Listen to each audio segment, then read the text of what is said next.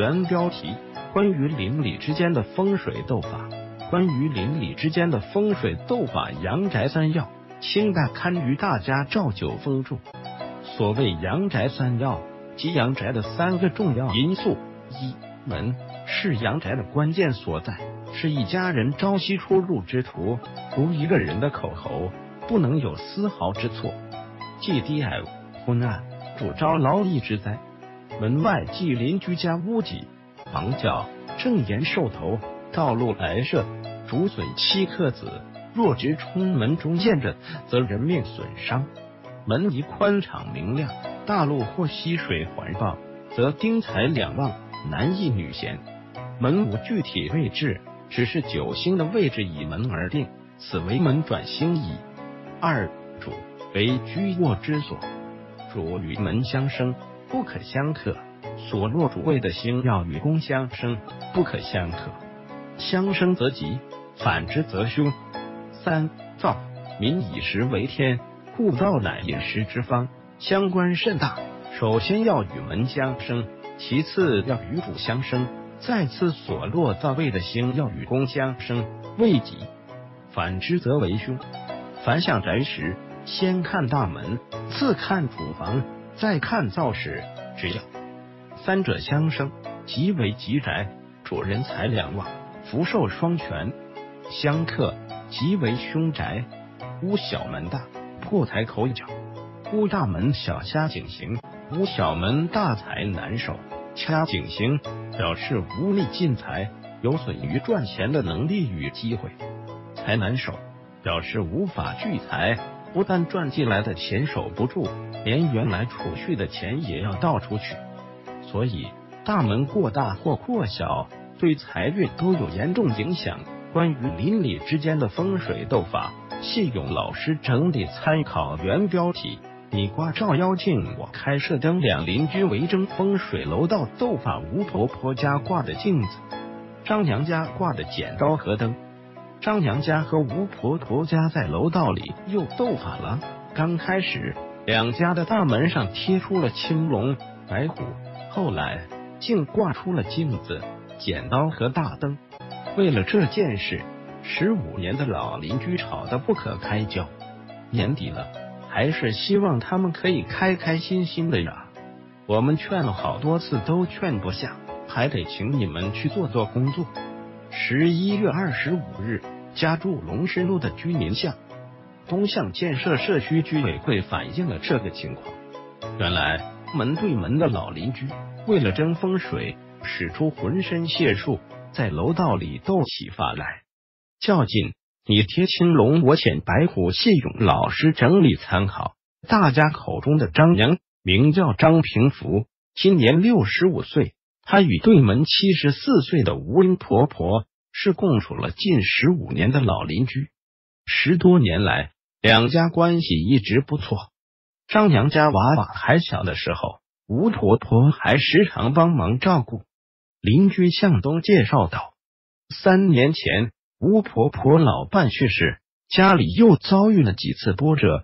听说贴符咒可以缓解不好的事情，吴婆婆便在自己家门上贴出了绘着青龙的符咒。从那时候起，两家人关系就不好了，平时甚至连招呼都不打了。”向东说：“从三年前开始，两家人就暗地里较劲。”一场斗法便越演越烈。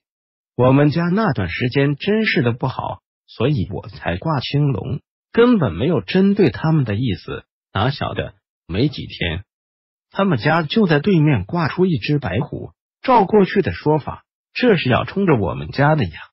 巫婆婆说，当时对门挂了白虎之后，她就生病了，所以更确定对门的做法，让自己沾到了晦气。本来我们是好邻居，吴婆婆莫名其妙的在家门口弄符咒对着我们家，这对我们家来说当然不吉利呀。说起最初的斗法，张娘回忆说，他曾劝过吴婆婆多次，但吴婆婆并不接受，所以自己才会挂出一只白虎来还击。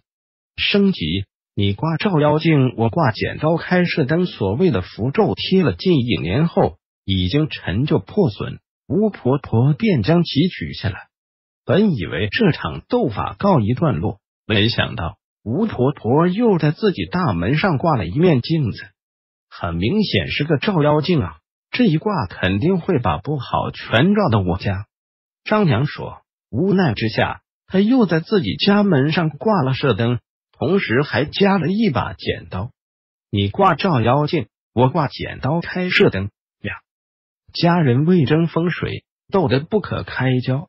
路过的邻居们也感到十分不适，多次劝解仍没起作用。调解，两家人摘除了镜子、射灯与剪刀，谢勇老师整理参考。十一月二十五日，社区工作人员来到了吴婆婆家中，做起了思想工作。如今已经是新时代了，万事都需要讲英明，贴青龙白虎符、挂照妖镜等行为。都是迷信的做法，因为这样引起误会，影响邻里团结就不好了。听了社区工作人员的劝说后，吴婆婆慢慢道出了事情的原委。我贴符挂镜子，并不是针对对门家的，仅仅是为了给自己家辟邪。吴婆婆接着说：“其实这么长时间过去了，家里回归了平静。既然社区人员上门来。”只要对门拿掉门前的灯和剪刀，他也取下来。得知此情况后，社区工作人员又来到对门张娘家。